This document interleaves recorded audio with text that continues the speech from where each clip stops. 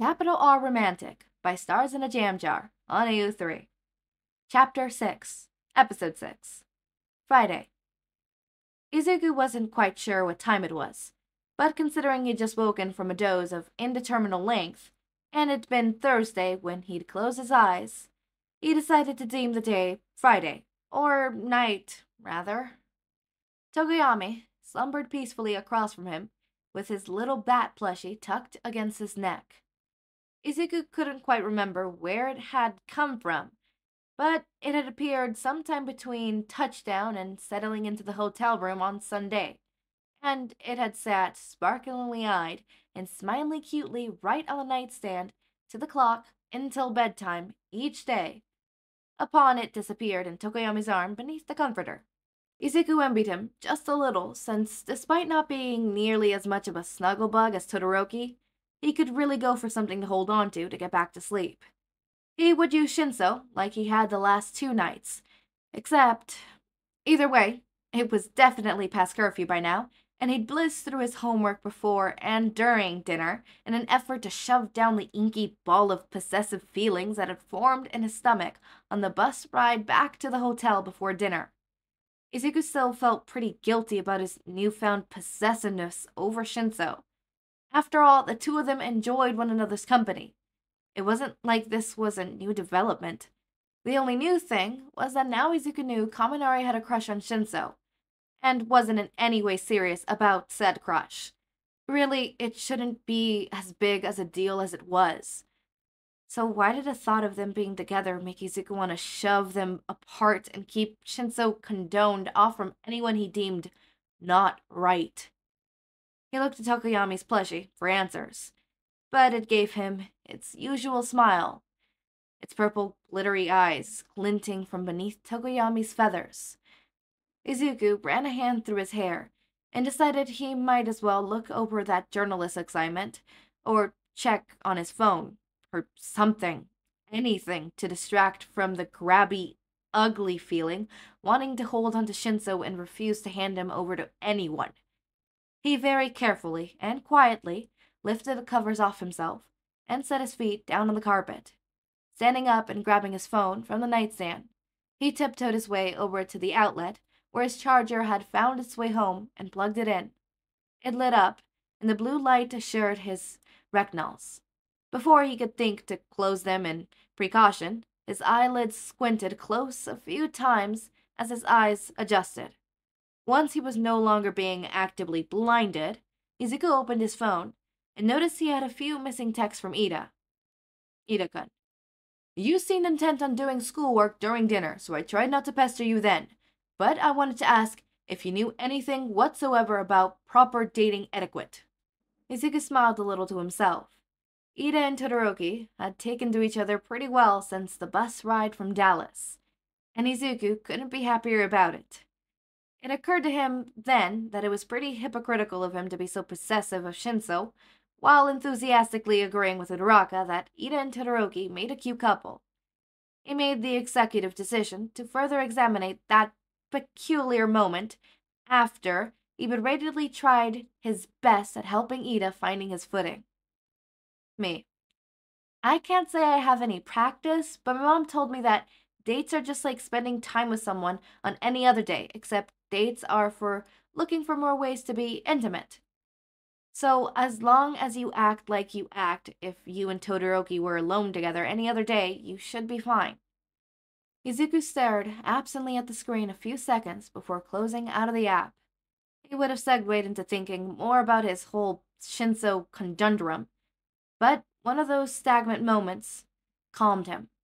The kind that leaves a person staring into space, not knowing for sure if they even have anything to do, let alone if they have the energy or attention span to do it. He remembered the conversation he had with Tokoyami on Monday, where Tokoyami had mentioned Izuku's schedule buddy breaking into the dorm rooms. He suspected the true motives for her actions had been boredom, but he couldn't go breaking the rules just because he was bored. That wasn't exactly something for an expiring number one hero to be doing. Shinso started shifting around, and Izuku didn't have anything to quiet but his breathing, so quiet his breathing he did. His eyes stayed trained on Shinso, as his shifting turned slightly more fitful. Then it slowed down, and Shinso stilled again. Izuku took a breath and shifted a little in his spot in the corner. He immediately regretted this because Shinso's head popped up and his gaze swiveled around the room, landing smack dab on Izuku in the shorter order. The two of them just kind of stared at one another for a while. Don't tell me insomnia is contagious, Shinso said dryly. Izuku had to stifle a giggle that bubbled up in his throat, so the only evidence of his laughter was his shoulders bobbing and the squinched up smile all over his face. Maybe, he replied quietly around the mirth. Damn, guess we gotta quarantine ourselves. Shinso sat up fully. Can't have Tokoyami and Ojiro catching it too. Where? In the bathroom? Maybe, but that's a little too cramped. Hitoshi wasn't quite sure if this was a dream or not, but considering his dreams were rare and never nearly this vivid or realistic, he had to assume it was real. He was honestly just trying to keep the current energy up. Being around Midoriya and keeping his head on straight was easy right now for some reason, and he was determined to maintain both his composure and the moment. Whatever shall we do then? Hitoshi shrugged, but an idea hit him mid-motion, and it gave Midoriya a conspiratorial smirk. I suppose the pool would be abandoned at this time of night. Seems like a good option. What? Shinso, we can't do that. Izuku hissed, his mirthful smile being replaced with a look that said, You're not actually serious, are you? Hitoshi, being a contextual soul, raised an eyebrow and said, I mean, last time I checked, the elevator still worked, and so do my legs. But we can't just. I mean, for one, Aizawa would be furious. Aizawa isn't here, Shinso held up a finger to punctuate the statement.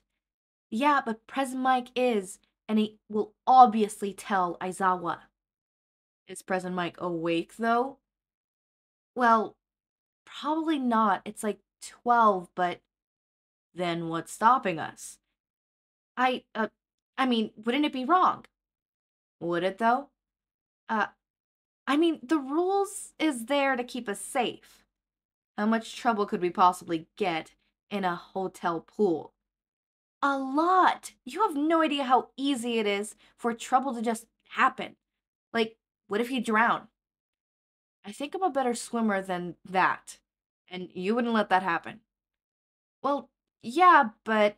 And if some third party trouble finds us, you have your peripheral license, and I have plenty of physical training. Yeah, Besides, you soinked out right after dinner and missed the time to go down there while the sun was still out.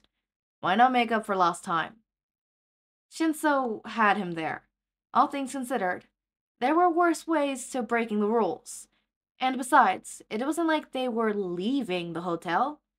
They were allowed to go downstairs for midnight stacks and stay in the dorms. This wasn't technically too different. All right, but if we get in trouble, it was your idea. You say that like I was about to let you take credit for such a brilliant idea. Izuku smiled and rolled his eyes, ever so quietly making his way to a suitcase to dig out his swim trunks, as Shinso did the same. After leaving the bathroom to let Midoriya change, Hitoshi wondered if this had been a good idea. Not the breaking curfew, that was a no-brainer but the whole secret away to the pool with his crush in the middle of the night. He didn't usually do stuff like this on the first week, but he couldn't really help that now. This crush business was so much easier when he had the time and space to get through all his thoughts and feelings organized and boxed up so he could open and close things at will. Still, by now, he had figured out that these feelings weren't about to go away anytime soon, so he might as well throw caution to the wind for the night. Izuku made sure to double check that they had a room key before exiting, and Shinso took care of leaving quietly as possible. Izuku couldn't help marvel at the expertise Shinso moved with. He was like a ninja, or Aizawa sensei. Not that those two things were mutually exclusive, and Shinso was basically Aizawa's up and handy the prospect of being a ninja for a few minutes brought a giggly smile to his face as he trailed behind Shinso, mimicking the way he walked, and wondering if that counted as a dorky thing to do. It was definitely dorky. Still, it was exciting, and it was only more so with each step further from the navy toed hotel room down the warmly lit hallway past the rest of their classmates on the floor. Once they got in the elevator, Hitoshi hit the first floor button. When the door closed and they started moving down, he looked over to Midoriya, who looked back with a huge grin on his face. The look in his eyes were slightly on the wild side, and his smile was bursting at the seams with sun manic energy. Hitoshi couldn't help but mirror it in his own, more reserved way. The elevator let out a cheerful ding as the door opened, and the boy scurried out, making a beeline along the chilly atrium for the shifting glass doors that led to the vacant back patio that protected the fence in the pool. The humid heat of the night wrapped around them as Izuku hurriedly swiped the key card in the gate lock and ushered Shinso in quickly before closing it behind them and setting the card down on the closest crystalline poolside table. He was buzzing, high on deficiency and secrecy, breathing in the chlorine and rebellion. He looked to Shinso, expectedly. Midoriya's wild, excited energy was even more cautious now than it had been not thirty seconds ago, and Hitoshi smiled wide before tossing his shirt aside and taking a run start into the glowing deep end. The water set off bristling starburst across his skin as it washed away the warm, human night. The moment he surfaced, he heard Midoriya splashing down and got promptly pedaled with the displaced water.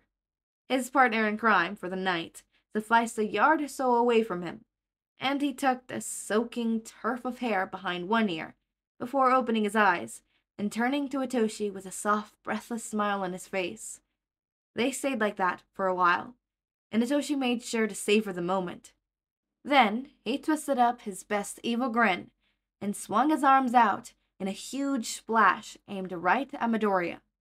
Izuku squealed and held up his arms, but it did promotely nothing to help. He was thoroughly pedaled with the chloride water, and in an instant it took him to recover. Shinso had disappeared beneath the water.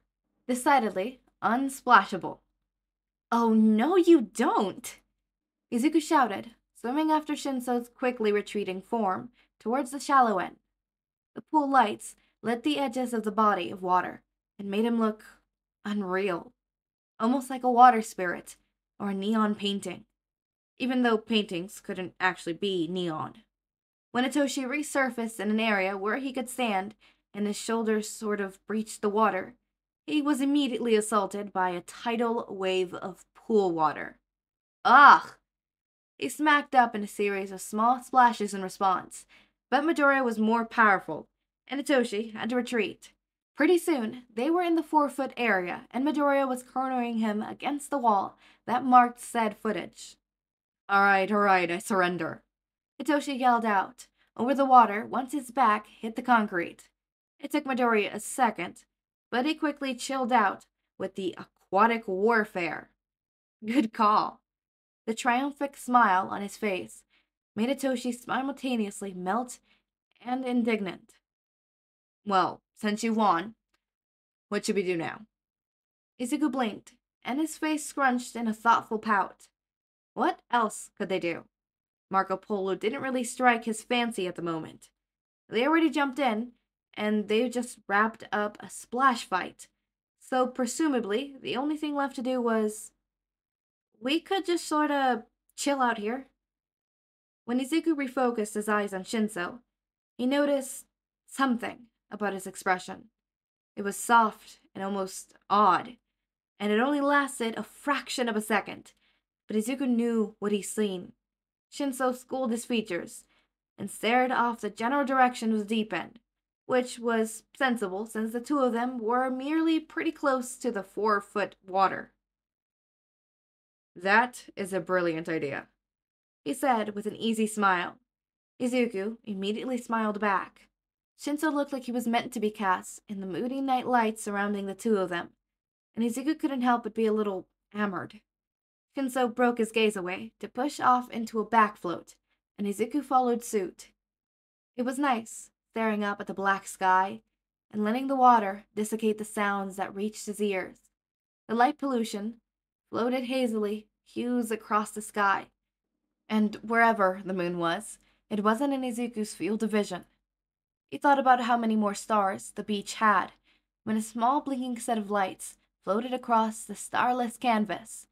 He hadn't seen many planes from the beach, but in San Antonio, you couldn't go a day without seeing or hearing two or three.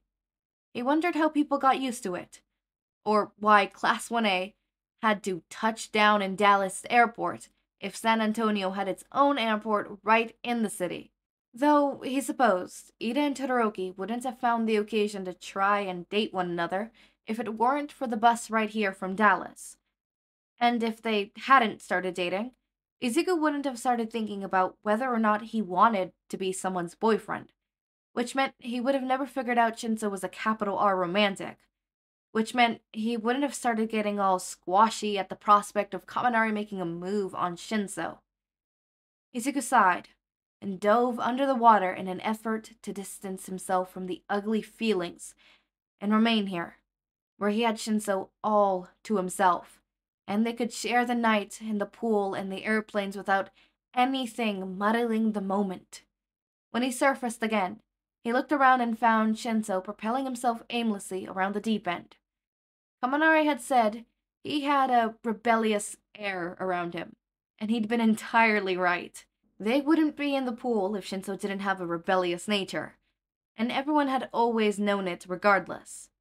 Still, here and now, he looked less like a rebellious teen and more like something unreal and irreplaceable.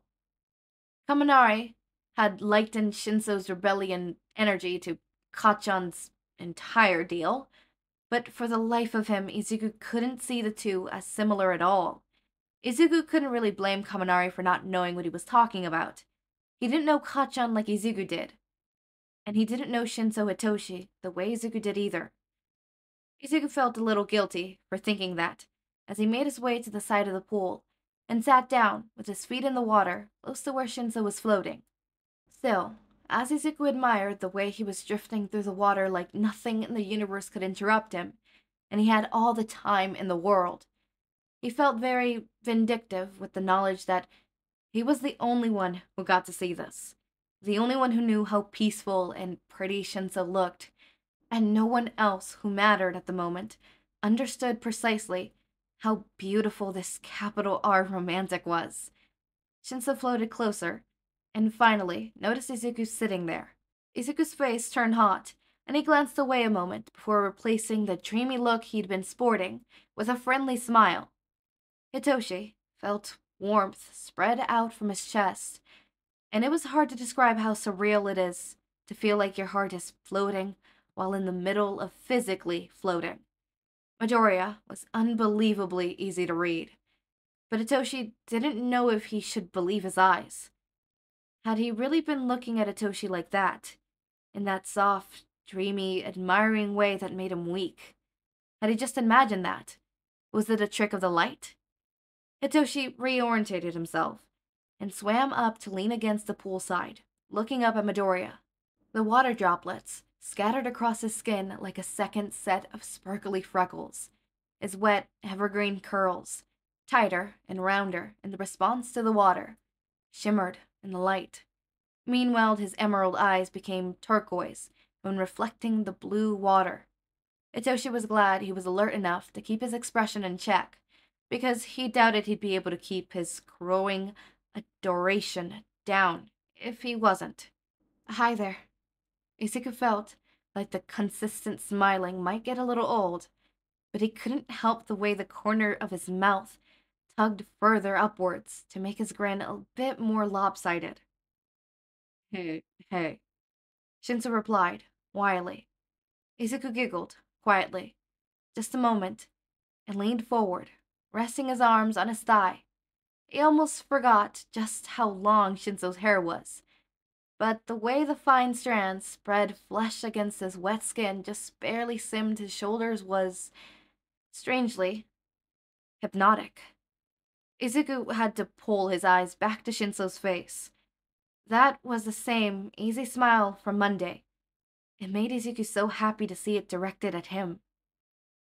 You know something? What? Shinso raised an eyebrow. You look really pretty like this.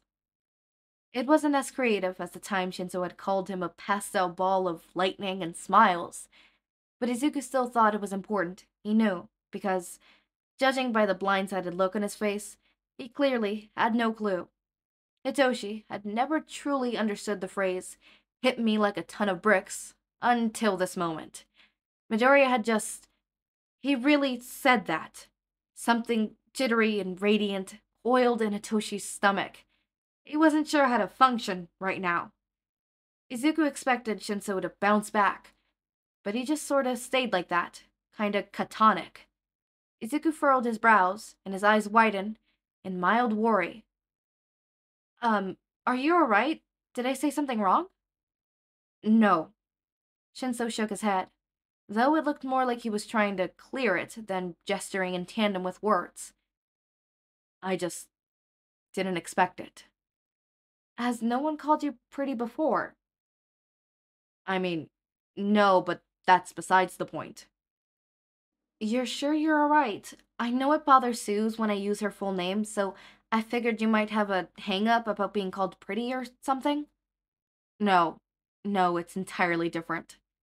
Hitoshi really wished he had phrased that sentence differently, because Midoriya immediately responded with, What is it then? Hitoshi had two, maybe three options. Tell the truth, try coming up with a convincing lie, or disappear beneath the surface of the water and swim to the opposite side of the pool as fast as possible. The third option seemed like the worst one, so he decided not to do that. That left the first two options. And that curled ball in his stomach yanked and tugged and pushed at his throat to just come out and give Midoriya the truth. But how could he give himself away like that after less than a week? He had gone through this whole crush thing before. Why was it so much harder this time? He couldn't be so careless with his heart like that. Shinso's expression was apprehensive, and he seemed lost in thought. There were other, softer things mingling in there, but Izuku couldn't really identify them nearly as easy. Izuku wished more than anything to have Shinso smiling at him again. He carefully reached out and tugged a stray of hand behind Shinso's ear. It looked pingly at the bottom of the blue lights, and looked almost of the color just around his roots at the yellowish lights from the other light sources. Shinso's eyes darted up to him, and Izuku could see the stalk of fear. Not the desperation virtual kind, or the weak, snimmering kind. It was the kind of fear you felt when you were about to do something that you thought could go horribly, horribly wrong. And it made Izuku's heart hurt. It's okay. Izuku smiled softly at him, moving his hands to loosely cup Shinso's jaw. You can tell me. It was almost like he stopped breathing. He was looking up at Izuku like a deer in headlights. Izuku gently rubbing his thumb over Shinso's cheek. He blinked and pulled away in a shuddery breath. Hitoshi felt like all his insides were knotting and mushing and blending together as he tried his hardest to keep it together. Keep Midoriya at a distance. He needed time. He couldn't just give himself to this boy. He had to wait. He should wait.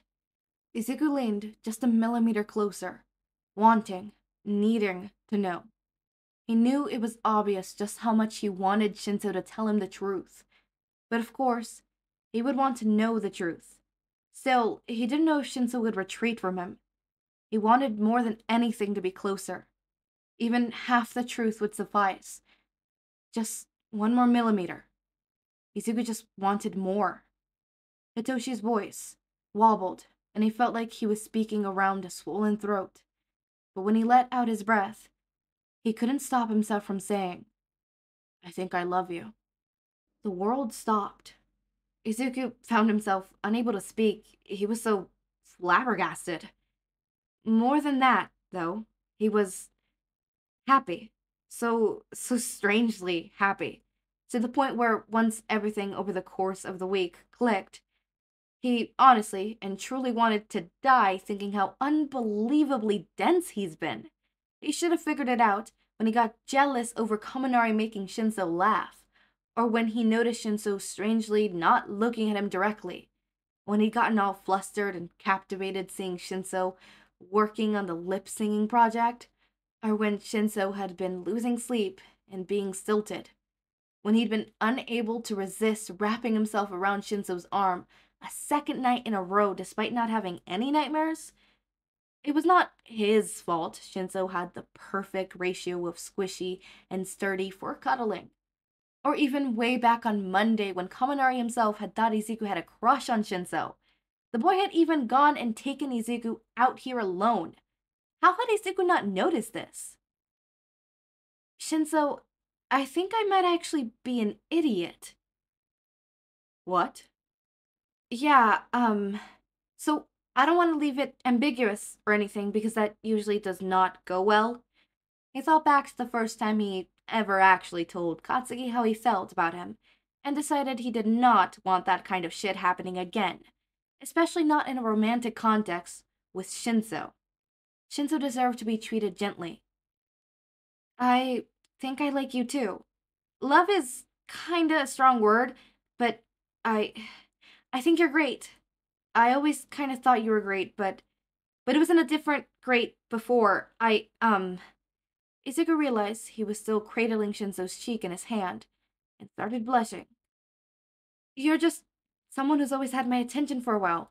Not like in a romantic way before, but I mean, like I said, I'm an idiot and I I've been getting to see more of you and that that sort of made me want to see more than than the first more. And okay, I'm starting to get way too grabbled. Um Hitoshi had to remember to breathe. Every single atom in his body was vibrating. This couldn't be happening. This couldn't possibly be happening. You mean that? Izuku jumbled his words, righted themselves nearly instant at the softness of that question. He was not about to let Shinso think he was being wishy washy or half hearted about this. Like, yes, he had only put the pieces together eight seconds ago, but they had always been there. Of course I mean it. I'd never lie to my boyfriend like that. Hitoshi was taken aback for a moment, and actually leaned backwards just a bit. Not enough to slip out of Midoriya's hand, though. It was not about to let that happen. I. that. that is sudden. Ah, sorry, I. I guess I just sort of assumed, since, you know, we're both on the same page about it, we were, you know, boyfriends? Izuku said the word more softly this time. That. yeah, I guess that makes sense. Damn, I've been agonizing over this all week, and then you go and call me your boyfriend 10 seconds after I confess. Izuku grinned wider and shrugged. I didn't want to leave it to a chance. I'm super lucky you like me in the first place. The hell do you mean you're lucky? You're the actual son, and you're telling me you're lucky I'm your boyfriend? What? You, you can't just go saying something like that and not understand how, like, you literally just said I was a son. How can someone not feel lucky to have a boyfriend who says such sweet things like that? You act like I don't say things that everyone already knows. What are you talking about? Are you honestly telling me you don't know how majestic and warm you are all the goddamn time? No, unless you count trouble, because I'm absolutely a magnet for that. Guess that explains why I'm your boyfriend, huh? Izuku blinked at Shinso a moment before he bursted out laughing, his hand falling to Shinso's shoulder. Shinso let out one of his low, quiet little chuckles. The next few moments, they were just steady streams of bright laughter from the two of them. Oh. I generally thought it was going to be one of those where, like, we get absolutely no payoff, where they get together at the very fucking end and then the fanfic ends. Star in a jam jar. Nice. I like this. Thank you. Thank you. You're feeding us. Oh my god, you're giving us freedom. Uh, I want to talk about that. That scene was super fucking cute, and uh, that was that was too cute. That was fuck, fuck. Also, Izuku being like, my boyfriend immediately after. Uh, I feel you, Izuku. I used to process things that way. Like, if you confess to someone and they confess back, or like, oh yeah, I like you, I reciprocate your feelings, old me was like, okay, if we like each other, then we must be on the same page of, you know, being dating because that's what it means, right? I like you, you like me, therefore we date, right? Therefore we skip that whole, oh, be my boyfriend thing because like you confessing to me and me confessing back is the initiative of us dating, right? That's always what went in my mind, right? Right?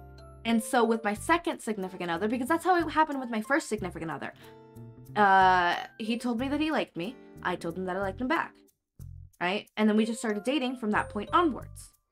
There was no, do you want to be my boyfriend? Be my boyfriend? No, no, no. That was none of that, right? So when I went into my second relationship, right, for a week, I thought we were dating. We weren't dating. And here's the thing he confessed to me. And then I was like, okay, we're dating. And then he started flirting with this other person, right? And I'm like, is this che- am I being cheated on again? What? And you know, turns out it wasn't because, you know, man's wasn't dating me in his eyes and then we started dating and then he cheated on me. God, I should have never gotten into a relationship with that guy. Fucking bullshit. Yo, learn from my mistakes. But that was such a sweet episode. Episode chapter fuck. Uh, I could say episode now. No, I could say episode now. That was such a sweet episode. Oh, that was so fuck. That was sweet as fuck. Oh my god. I want a capital R romantic. I want a capital R romantic. I don't want to be the capital R romantic of the relationship. I want to be the one who's getting romance. I don't want to be the romantic one. But unfortunately, oh, what was that one TikTok trend? Um, made to be the romantic, born to be the romantic, the romanced, or what was it? Something like that.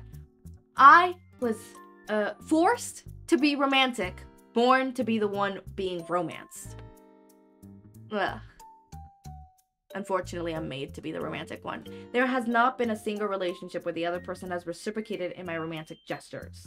The most romantic thing I'm gonna get for them is. Oh my god, I've never been romanced. oh my god, like obviously the typical like, oh you're so sweet, sweet little words of, you know, affirmation and stuff like that, but like romantic gestures like the ones I do, no. In almost all my relationships, I've had at least once like big romantic gesture, right? Something that made it us, our thing, us. But no one has done it back to me. Oh my god. Is this what I get? Wait, Tyler? No, we, we didn't date enough for that one to form. Oh, I had a gesture for them, but. Oh my god! That is so sad.